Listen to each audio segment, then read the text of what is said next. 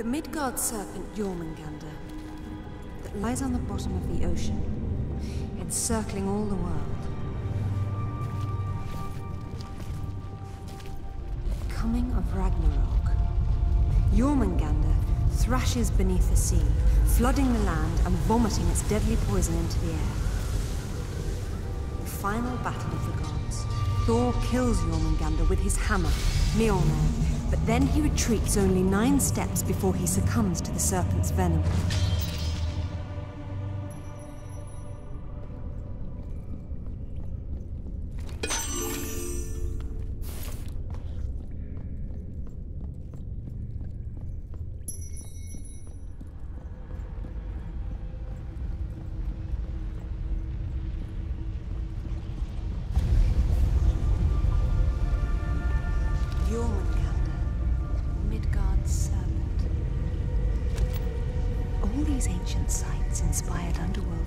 In later cultures.